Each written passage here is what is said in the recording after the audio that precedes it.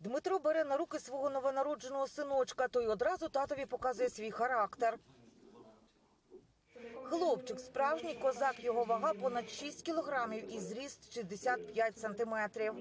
Положили на ваги, я думав, е, до 5 кілограм буде.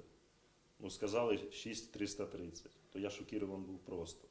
Малюк народився у сім'ї військового. Мамі Ангеліні 31 рік, а татові Дмитру 36. Це їхня друга дитина. Первістку Богдану вже 4 роки. Він теж з'явився на світ немаленьким, понад 4 кілограми. У родині вже кілька поколінь народжуються чималі діти. Я 4500, чоловік 4 народився. Його батько 5500, ходять легенди. Вагітність розповідає Ангеліна минула добре. Лише на останніх місяцях каже, було важко ходити.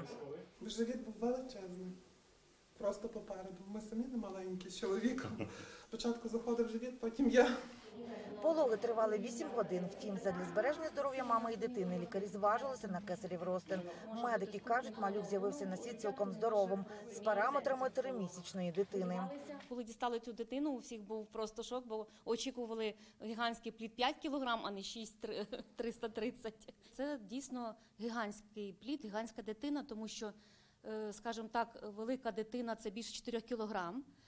У Рівненському пологовому будинку кажуть, це справжній рекорд.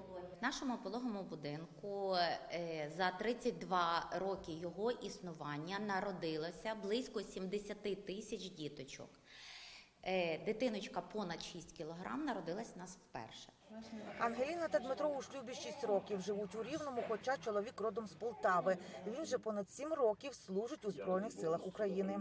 Пішов в 15-му році в Добробат, Карпатська Січ. Служив, були в Луганській, в Донецькій області. А на даний час, аби я не перевівся на Рівненщину, то дітей би не було взагалі. Тато ж військовий. Я розуміла, що це ризик певний, але потім, коли вже дізналися, що все-таки є вагітність, ми розуміли, що це прекрасний стан. Малюка назвали Остапом. Батьки вже з нетерпінням чекають на виписку, аби познайомити синів. Відразу хотіли хлопчика. Тата, Мама тата, тата сразу виходить тільки козаки.